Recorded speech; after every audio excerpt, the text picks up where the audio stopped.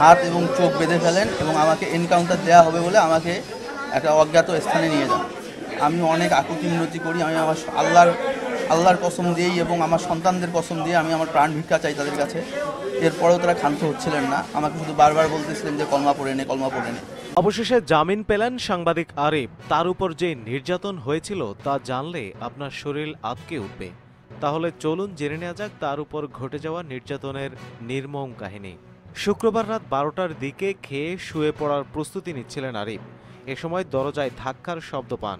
পরিচয় জানতে চাইলে ওপাশ থেকে বলা হয়, থানা থেকে আসছি। আরিফুল বললেন, এই সময় আমি সদর থানার ওসিকে ফোন দেই।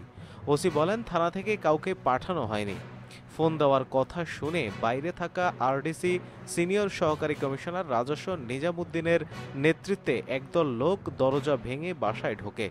এ সময় কুড়িগ্রামের জেলা প্রশাসনের সহকারী কমিশনার রিন্টু বিকাশ চাকমাও ছিলেন। তবে রিন্টু চাকমা কোনো আঘাত করেননি। ঘরে ঢুকেই আরডিসি নিজামুদ্দিন আমার মাথায় কিল ঘুষি মারতে শুরু করেন। মারতে মারতে আমাকে টেনে হিচড়ে গাড়িতে তুলে চোখ, হাত, পা বেঁধে ফেলা হয়।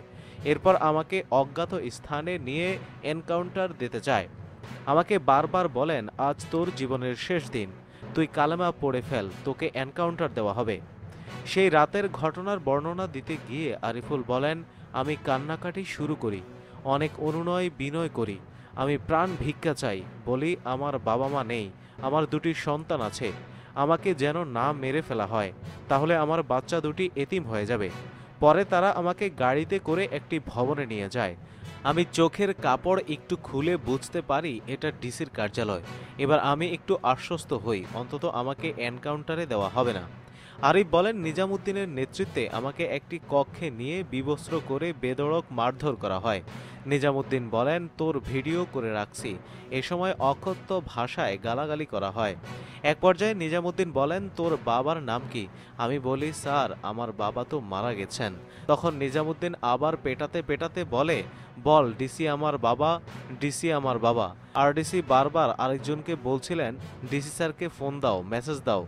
কি করব সেটা বলতে বলো। আরিফ বলেন, মারধরের সময় আমি বারবার জানতে চেয়েছি আমার অপরাধ কি। তখন নিজামুদ্দিন বলেন, তুই আমাদের অনেক জ্বালাচ্ছিস, ডিসির বিরুদ্ধে লিখিস।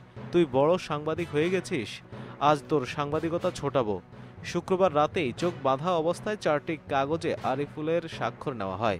ভোরের দিকে একটু তড়িঘড়ি করে কারাগারে পাঠিয়ে দেয়। নিজামুদ্দিন একবার জিজ্ঞেস করেন, তুই ওসিকে ফোন করেছিলি কেন?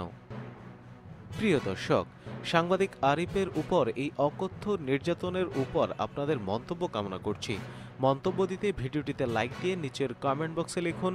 নিত্য নতুন খবর সবার আগে পেতে প্লাস মাইনাস চ্যানেলটি সাবস্ক্রাইব করে আমাদের সাথেই থাকুন। ধন্যবাদ সবাইকে।